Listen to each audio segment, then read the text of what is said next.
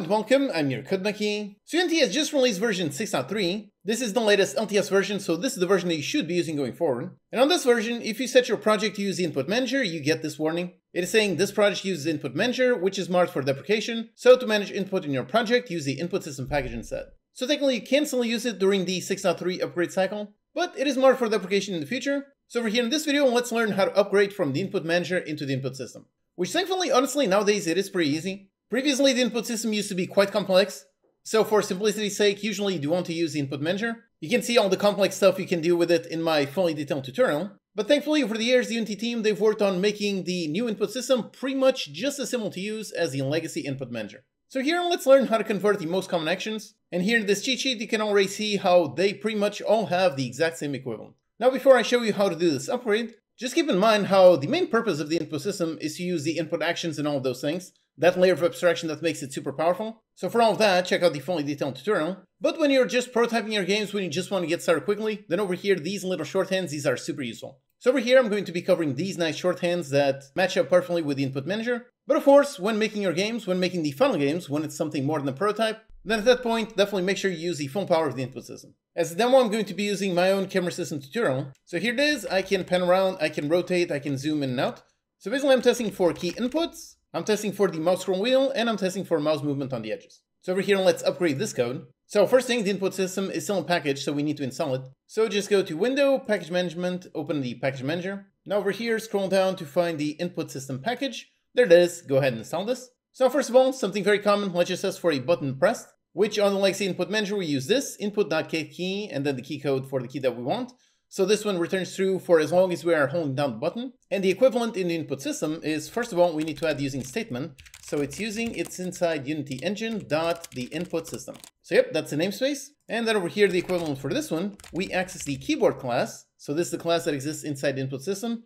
And then we access the current so this has to do with the fact of how the input system can support multiple connected keyboards, multiple connected mice, and so on. But again, over here, I'm covering the code just for testing. And in testing, usually you just have one keyboard. So that is why this is the equivalent one. And then within that keyboard, then you just check for the key. So in this case, testing for double key. So double key.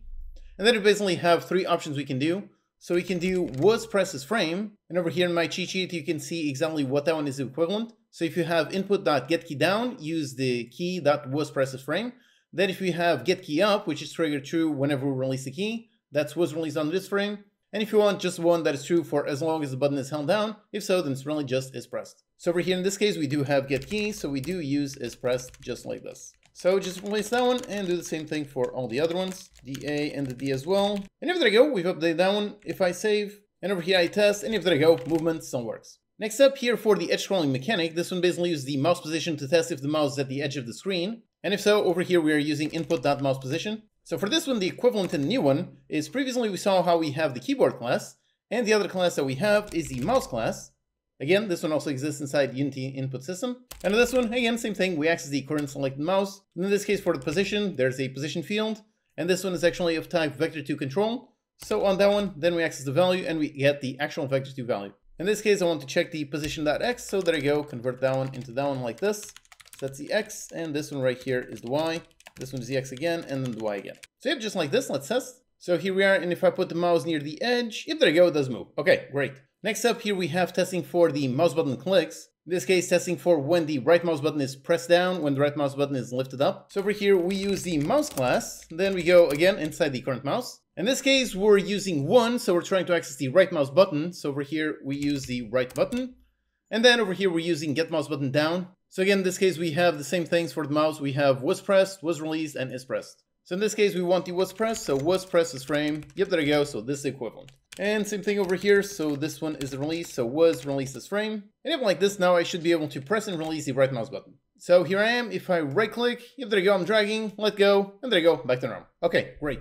And then another common thing you might do is using the mouse scroll delta. This one basically checks if the scroll wheel is moving up or down. So for this one, the equivalent is, again, inside the mouse class, we access the current, then we access the scroll, and then we grab the actual value. This is going to be a vector 2. So in this case, we're testing for the y. So there you go, just one like this. So there you go, not like this should work. So here, if I scroll, there you go, I can zoom in zoom out. All right, great. So we've already seen how to convert, get a key down, get a key up, and get key. Then, by the way, just another curious one, which is how you can access the current, and you can access it using a key, And by key, I mean an index on the array, and that one can be of type key. So for example, if you store some kind of key code previously in some kind of variable, then this would be the equivalent. You store the key type, which exists inside the input system namespace, and then just access it as an index on the current, and that's another way you can access some key. Then we also saw the get mouse button down, we saw for the mouse position and for the mouse scroll. Then for another interesting one, sometimes you might use this, you might use input.getAxisRaw. This would basically return the delta for the mouse position, and for that the equivalent is just like this, so you go inside the mouse class, access the current, access the delta, and read that value. Alternatively, something else you might also do is do a get axis raw for vertical or horizontal. And by default on the input manager, that would be something like WASD in order to get the vertical and the horizontal axis. And for this one, the equivalent is either you can create the proper action, and then you can define the keys for the various axes, or if you want to do it all through code, again, just for testing, just for prototyping. If so, you can literally just do what we did up here. So check if a single key was pressed, check for the double key, the S key. So just like we did, do that in order to get basically the equivalent of the get axis raw. And final very important thing is the on mouse enter all these kind of functions. So by default, you've got all these kinds of functions. So these exist inside the mono behavior itself. So for example, on mouse enter, and this one over here, we can do a log. And I've attached this script to this giant cube, and if I mouse over, yep, there you go, I've got a nice message on the console. However, this over here, this is using the input manager. So if you set your project to only use the input system, if so, then this message will not work, these functions will not be fired. You can read about this on documentation, so basically, if we're using the input system, that one does not support this callback. So for all these events, the equivalent is to use these interfaces. For example, I pointer enter. So over here, we can go ahead and implement those interfaces. So I pointer, and we have a whole bunch of them. So you've got I pointer click, I pointer down, I pointer enter. So in this case, the equivalent for on mouse enter would be this one, I pointer enter. And this one over here, we can implement this interface. And it's just like this. And over here, let's do the without log. However, just like this, if I mouse over, and nope, it still doesn't work. In order to make this work, you need one extra step. You basically need to go onto your main camera. And over here, you need to add a component. And you need to look for a physics raycaster. And depending on whether you're using 3D physics or 2D physics, you use one or the other one. So in this case, this cube is using 3D physics, so I'm going to be using this one. And secondly, the way this works is actually with the event system. So we need to make sure we have an event system on scene. So if you don't have one, you can really just create a brand new canvas and that will automatically create an event system. And now if you do have an event system, and if the camera does have that nice component and you hit on play, and now if I mouse over, if there you go, now I do see both those events. But remember, you need to make sure to add that component to the camera, and you need to make sure you have an event system, otherwise these functions will not be toggled. So yep, this is the cheat sheet for how to convert from the input manager onto the input system. As you can see, thankfully nowadays the input system is super easy to use. That's why nowadays, even when I'm making a quick prototype, I now tend to use input system. I pretty much never use the input manager. And if you want to learn how to make games, then check out my free complete courses. If you want to learn the super valuable C-sharp language itself, then check out my free C-sharp course. It covers everything from the language from beginner to advanced. Or if you prefer learning how to make a game itself, you can watch my free Kitchen Chaos course. That one will teach you how to make a really awesome 3D game. Alternatively, I just recently released my free Lunar Lander 2D course. So this is a great beginner 2D course. Alternatively, for multiplayer, you can check out my free course on making a simple multiplayer game. Or if you're more advanced, and check out my DOTS course. This is definitely very advanced stuff, but if you are an intermediate user, then DOTS is an insanely powerful tool that I really think you should know. So yep, check out all of those with a link in the description. Alright, I hope you found this video useful. Thanks for watching, and I'll see you next time.